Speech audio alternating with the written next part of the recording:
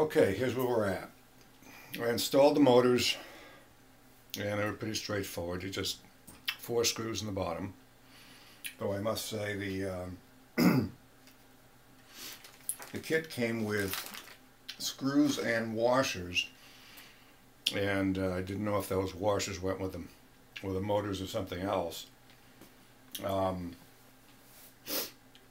I don't think they go with the motors because there wasn't enough of them. And where I do think they go is with the uh, camera mount because uh, I was noticing as I was putting these on that the uh, it's it's not very um, very good clearance or it's too much clearance uh, for these little nuts on the camera mount there. So I suspect that's where those um, washers go.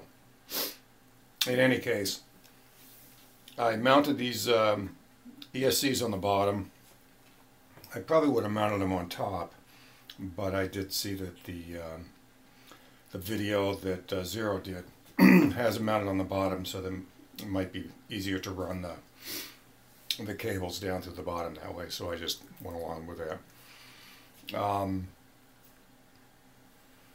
I also put bullet connectors on the um, on the ESCs. Um, I probably should have put males on it instead of female on the ESC side, but I'm not going to go back and redo that now. Um, where's my red wire? There it is. Okay. Um, anyhow, so I got all my ESCs with bullets so that I can extend those wires long enough to uh, reach the um, um, battery cable that came with the uh, came with the kit. Now the controller is going to mount over here in the back.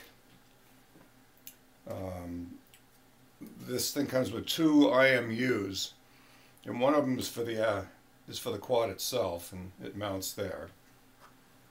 The um, Wi-Fi unit goes in the front here, and then um, we'll be mounting the the uh, GPS antenna. Hmm, I guess probably over here. I think we'll just put the. Uh, I have to look at see what they did, but I think it's. Uh, I think it's mounted on this arm here, but I'll have to double check that. It might mount somewhere else, but we'll see. Um, there's another uh, IMU unit here that comes with this, and this other one goes with the. Um, let me see. It'll mount here on the on this plate and that will give all the information, the sensor information that the uh, camera gimbal needs. So what I'll do now is go ahead and mount the rest of this stuff, figure out how to complete the wiring, um, and what I'll do is check back in once I get some of this wiring uh, figured out. I need to figure out where to run it and how to mount it to the uh, battery and the uh, controllers and IMUs and all the rest of that good stuff. So I will uh, figure that out and then get back.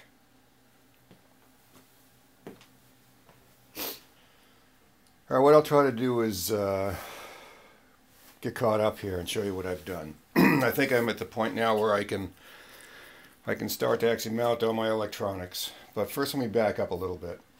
Um, again, the front of the front of this is the double hole doohickey here. Rear is with the three holes. Um, something to remember is that this is number one motor, number two, number three, and number four. So it just goes counterclockwise like that. Um, reason you'll need that is because the different motors need to plug into the different uh, motor connections in the in the uh, flight controller. now they've already, I think, hooked up these uh, uh, ESCs so that the motor is going to go in the proper direction because I noticed that uh, every other one is um, opposite. So they flip the wires to make them go in the opposite direction. So um, you should just be able to mount those and, and off you go. Um, I just use some uh, uh bullet connectors to extend the wires on all the ESCs and ran them into these uh, things that I found. They're just a bullet connector, which is a a four to uh, a single one here, and then a regular XT what is it called, XT80 or something like that. I don't know, XT60, XT80. What does it say? Can't even read it. Um, anyhow, it's that Turnigy connector. Um, hooking up the uh, flight controller got me a little bit confused because one of the things you have to know is that this does require an S-bus receiver. Now, I picked up this uh, FrSky uh, TFR 8 SB, which I haven't tested yet, but I understand it's supposed to be, um, well, I know it's compatible with uh, Futaba because I've used these before. I just have never used the uh, S-Bus version, so I don't even know anything about S-Buses. In fact, when I was trying to hook up this uh, flight controller, I was following along, along with um, Elishamo's uh, video. He does a really nice video on connecting the um, the YS series um, controller, um, and I was connecting all my all my uh, connections to the receiver through the aileron and throttle connections on here. Um, and I couldn't figure out how to hook up the IMU for the um, for the stabilizer, which is actually this one here, um, because it takes up these four slots, which are the slots that I normally would use for my receiver. Um, just to let you know, you got to use an S-Bus, and it plugs into this C7 uh, connection right here. So um, keep that in mind. If you don't have one of these receivers, you're going to have to get one, um, or, or go pick up a Futaba S-Bus series, which are not cheap. This thing here only runs about, uh, I think it's under $50, so uh, and you can get it in the U.S. or wherever.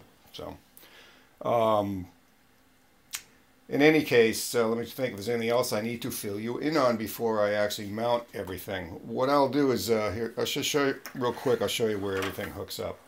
Um, better get my glasses on because I can't see without them. So, uh, let's see here. Okay. So the IMU for the actual quadcopter connects to, um, looks like I2, um, which is just the first connection on the upper side. If you look at this, the YS is reading across this way, multi-rotors right here. I'll try to take a close-up of this thing so that you can see what's going on and what connects where. But um, anyways, the IMU connects to the first slot right here and the uh, GPS antenna connects to the last connection uh, called uh, looks like G2 um, on here. So again, looking at it, reading things this way, uh, right side up, it goes all the way over on the GPS, all the way over on the left for the uh, IMU for the quad. Now the IMU for the stabilizer hooks into the first four slots and I believe it is a order of white, yellow, gray, and then the uh, power. So, which is the red connector here. Um, so just go in that order and they plug right in there. Um, then on C7, you've got your connection to your S-bus on your receiver on, um, let's see where this one goes. Okay, on uh, COM 3, you connect your Wi-Fi, and then LED goes into the LED. That's this guy here.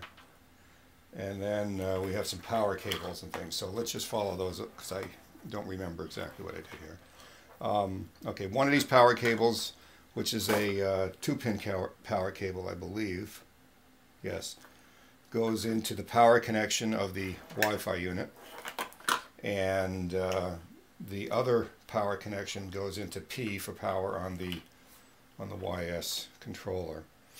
Um, and those you get off of this uh, this uh, um, battery cable that came with the uh, came with the kit. Uh, so right now I got all this spaghetti wire that I've got to mount and get out of the way here and make look pretty. And um, so I have to do that, get myself some wire ties and all that good stuff, get the stuff looking nice.